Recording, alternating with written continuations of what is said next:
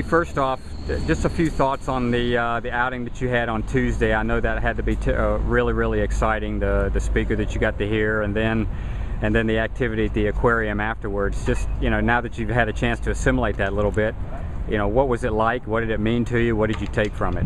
Uh, it was it was pretty mind-boggling, really. It was a very cool opportunity. Um, Louis Giglio's come out to a few of the matches, and he was the speaker for us, and. Uh, he, he had a really cool message just about imagining, about our vision of what we want to do with this team, and and he related it to what we want to do with, with our lives after we're done at Georgia Tech. And uh, I think that coincided with what Kenny tries to teach us here on the team. You know, he teaches us tennis, and he wants us to be the best team we can be, but he also wants us to grow as individuals. And um, that that motivational speech, I think it, it got the guys fired up, and it got us thinking about, you know, being the best team we can be and about being the best people we can be. And, uh, afterwards, they tied it in with uh, a trip to the aquarium. We get to swim with some sharks and, and fish. That was uh, once in a lifetime opportunity. It was it was pretty amazing.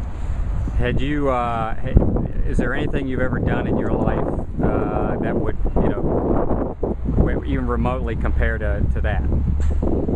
I don't think so. For for an afternoon going going right here, I don't think that that could ever be beaten. I mean, it's it was just incredible. 30 minutes swimming around with with these unbelievable creatures that come from all over the world. Was, can't really put words to it. It was it was awesome. Now Kenny said that you know can't touch them. You can't reach out and touch the, the, the sharks in the tank, but did you, you know, if they came up and bumped you, it wasn't a big deal. Did anything like that happen with you while you were in the tank? Uh, it not really with me. I know some of the other guys got bumped. I think Guillermo got one of the whale sharks. Uh, on a few occasions, I hit some of the smaller fish while I was trying to swim. I'd, I'd reach back and kind of catch them in the face, but uh, hopefully I didn't do too much damage to them. Um, but it was the thing that was amazing to me was how calm I was once I got in the water. I didn't, you know, I had sharks swimming all around me. I didn't think twice about, you know, I just I just felt safe. I don't know if it was being with the team or just knowing that you know people do it every day. But I was nervous at first, and once I got in the water, it was fine. So. Now there was a surprise element to this, right? You didn't really know yeah. what was going to happen. Yeah, yeah, absolutely no idea.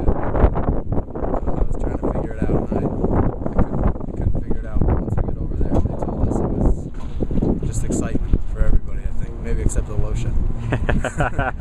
but. Uh, just uh, switch gears back to tennis a little bit. It's been a long time since you played a match. Um, sure, yeah. You know, you've had spring break and no classes this week. Uh, you know, what do you, what have you all done as a team and you individually to just to maintain your your sharpness competitively going into you know what should be a big weekend of conference matches? Well, I mean, we're always working hard, so that doesn't change. You know, we come out on the court with a match mentality every day and, and put in our work on and off the court, doing conditioning.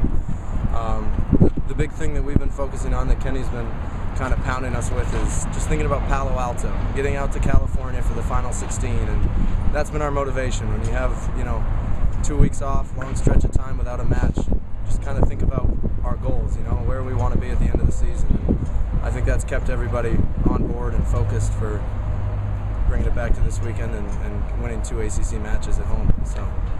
What uh, anything in your own game that you've tried to pay attention to over this last uh, little break here since the last match to you know to help yourself? Yeah, for sure. Uh, I had a tough match in Miami in singles. I it was a little windy, a little uncomfortable on, on the courts, and uh, I've been focusing on stepping up.